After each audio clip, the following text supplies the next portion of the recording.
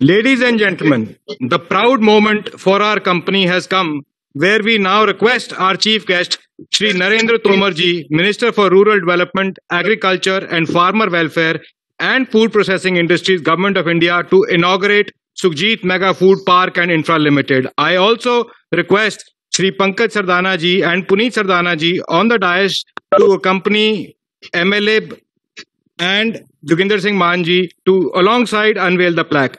Over to you, sir.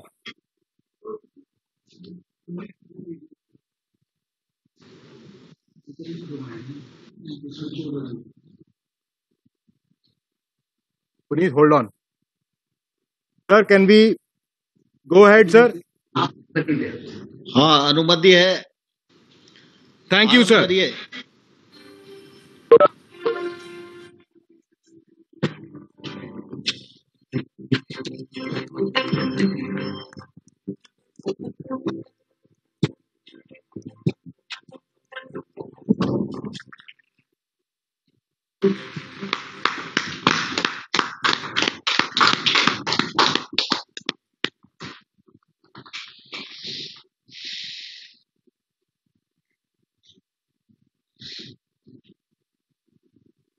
I now humbly request our chief guest, Shri Narendra Tomar ji, Minister for Rural Development, Agriculture and Farmer Welfare and Food Processing Industries, Government of India, to give his inaugural address on this momentous occasion. सभी को नमस्कार आज के इस शुभ अवसर पर हम सब के मध्य उपस्थित खाद्य प्रसंस्करण एवं उद्योग मंत्रालय के राज्य मंत्री आदरणीय श्री रामेश्वर तेली साहब, भारत सरकार के वरिष्ठ राज्य मंत्री आदरणीय श्री सोम प्रकाश जी, पंजाब राज्य के यशस्वी वित्त मंत्री माननीय श्री मनप्रीत सिंह बादल साहब, एमएलए बलबीर सिंह जी धारीवाल साहब, हमारे मेगा फ़ूड पार्क को डेवलप करने में जिनकी महत्वपूर्ण भूमिका रही है, ऐसे भवदीप सरदाना जी, धीरज सरदाना जी, इस अवसर पर उपस्थित हमारे मंत्रालय की सचिव आदरणीय मैम पुष्पा जी, इस पूरे कार्यक्रम से जुड़े सभी अधिकारीगण, किसान भाइयों बहनों और उपस्थित सज्जनों, आज पंजाब के कपूरथला क्षेत्र में मेगा फ़ूड पार्क का शुभारंभ संपन्न हो रहा है। इस अवसर पर मैं पंजाब राज्य को और इसको विकसित करने में जिनकी भूमिका है, सरदाना परिवार और आसपास के सभी किसान भाइयों और बहनों को बहुत बहुत बधाई देता हूँ। बहुत बहुत शुभकामनाएँ इस अवसर पर देना चाहता हूँ। सारा देश इस बात का साक्षी है कि खेती और किसानी के क्षेत्र में पंजाब और हरियाणा राज्य की महत्वपूर्ण भूमिका रही है।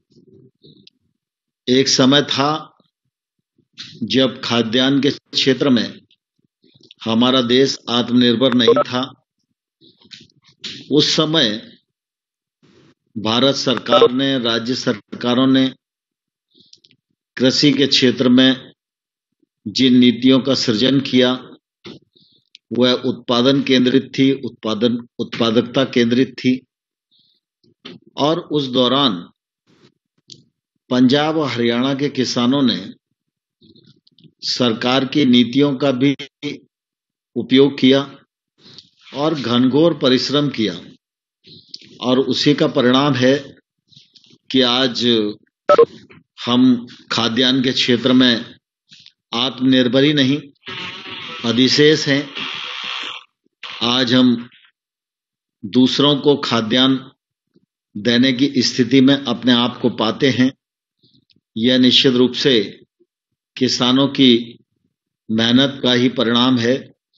और इसलिए मैं पंजाब के किसान भाइयों और बहनों को अपनी तरफ़ से बहुत धन्यवाद देना चाहता हूँ। उनका अभिनंदन भी करना चाहता हूँ।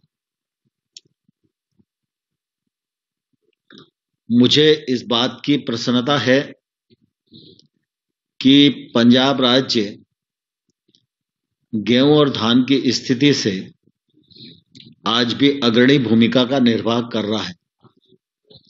लेकिन साथ ही साथ जब पंजाब के मित्रों से बातचीत होती है तो सब लोग इस बात की भी चिंता करते हैं कि धीरे धीरे धान की फ़सल के कारण हमारा जो भूजल है, वह भी सने सने समाप्त हो रहा है और आने वाले कल में एक संकट की स्थिति हम लोगों के सामने आ सकती है। और इस दिशा में सरकार भी प्रयत्नशील है। पंजाब के कृषि विश्वविद्यालय, महाविद्यालय और हमारे जो एग्रीकल्चर के इंस्टीट्यूट हैं, सभी लोग इस दिशा में चिंतित हैं और बाद में एक ही मत बनता है कि फ़सलों का विविधीकरण इसको प्राथमिकता देकर काम किया जाए। और मुझे प्रसन्नता है कि पंजाब राज्य ने इस दिशा में सफलतापूर्वक कदम बढ़ाए हैं और उनका परिणाम भी आने वाले कल में परिलक्षित होगा। मक्का का रकबा भी बढ़ा है और इस दृष्टि से केंद्र सरकार ने मक्का संस्थान भी वहाँ बनाया है और आज जो मेगा फ़ूड पार्क का हम लोग उद्घाटन कर रहे हैं यह भी मक्का के प्रसंस्करण से ही संबंधित है।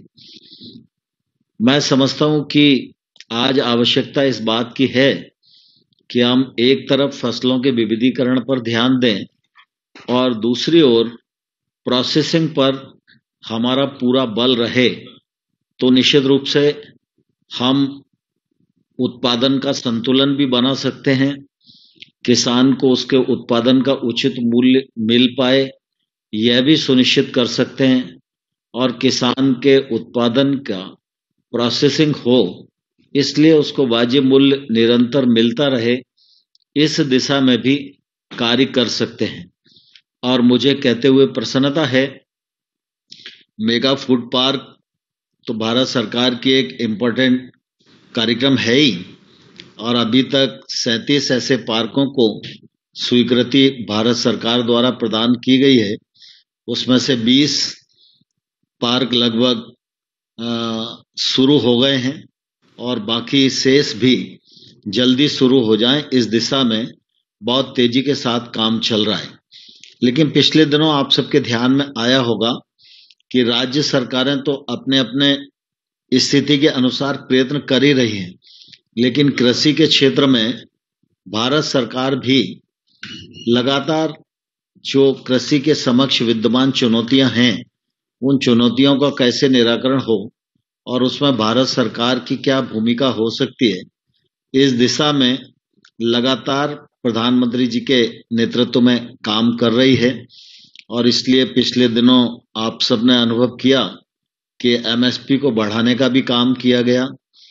देश भर में दस हज़ार एफपीओ बनाए जाएँ और एफपीओ को सस्ता लोन उपलब्ध हो सके और बिना गारंटी के भी दो करोड़ रुपए तक का लोन उन्हें मिल सके, ब्याज की सब्सिडी उन्हें दी जा सके।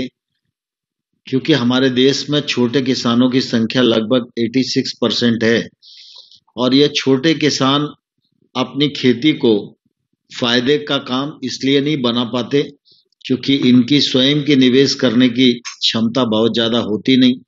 कोई बड़ा निवेशक इनके पास आता नहीं।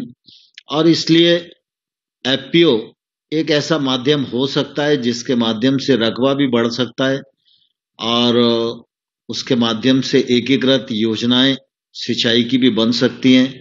किसान सामूहिक रूप से सूक्ष्म सिंचाई की ओर जा सकते हैं। कृषि विभाग की जो अनान योजनाएँ उनका लाभ ले सकते हैं। और वो जो आदान की उपलब्धता है, वो भी उनको सस्ते दामों पर, थोक दामों पर उपलब्ध हो सकती है।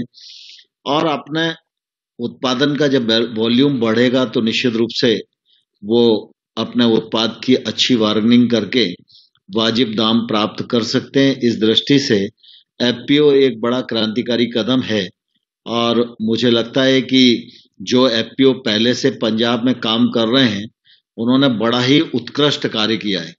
तो मैं बादल साहब से कहना चाहूँगा कि ऐसे जो सफलता की कहानियाँ एफपीओ की दृष्टि से पंजाब में हैं, उनको और प्रचारित और प्रसारित किया जाए, जिससे कि फ़सलों के विविधीकरण में हम लोगों को और ज़्यादा सफलता प्राप्त हो। इसी दिशा में आत्मनिर्भर पैकेज के अंतर्गत आप सबके ध्यान में है कि कृषि के क्षेत्र में जो इंफ्रास्ट्रक्चर फंड एक लाख करोड़ का घोषित हुआ है, उस पर काम प्रारंभ हो गया। है लगभग अभी डेढ़ दो हज़ार करोड़ रुपए की स्वीकृतियाँ भी राज्यों को दे दी गई हैं। इस फंड का भी उपयोग हम जो इंफ्रास्ट्रक्चर डेवलप करने के लिए कर सकते हैं, उसका भी फ़ायदा पंजाब राज्य को उठाना चाहिए। फ़ूड प्रोसेसिंग की दृष्टि से आत्मनिर्भर पैकेज में दस हज़ार करोड़ रुपए का प्रावधान किया गया है। इस दृष्टि से भी हम लोग लगातार कोशिश कर रहे हैं, जैसा कि राज्य मंत्री रामेश्वर तेली जी ने भी बताया कि इसका भी फ़ायदा आने वाले कल में निश्चित रूप से किसानों को, छोटे किसानों को मिलने वाला फ़ूड प्रोसेसिंग छोटे स्तर पर बढ़ेगी, ग्रामीण क्षेत्र में बढ़ेगी तो रोज़गार के भी अवसर सृजित होंगे और हमारे किसानों को भी वाजिब लाभ मिल सकेगा। इसी दृष्टि से बादल साहब ने पिछले बार भी हम लोग एक बार मीटिंग में मिले थे और उस समय भी आपने इथेनॉल के बारे में सुझाव दिया था और मैं आपको ये भरोसा दिलाना चाहता हूँ कि आपकी चिंता से निश्चित रूप से केंद्र वाकिफ है और हम लोग इस दिशा में बहुत ही गंभीरता से विचार कर रहे हैं। विचार कुछ ही दिन में पूर्ण होगा तो निश्चित रूप से आपके ध्यान में हम लोग ज़रूर लाएँगे। जहाँ तक रिसर्च का मामला है, यह बात सही है कि कृषि के क्षेत्र में अनुसंधान का बहुत महत्व है। आईसीआर के वैज्ञानिक लगभग सौ से अधिक संस्थानों के माध्यम से देश भर में भिन्न भिन्न क्षेत्रों में बहुत अच्छे से अनुसंधान का कार्य कर रहे हैं और उसका लाभ भी देश को मिल रहा है। लेकिन अनुसंधान एक ऐसा विषय है जिसको निरंतर करते रहना चाहिए, निरंतर बढ़ाते रहना चाहिए और समय समय पर हमको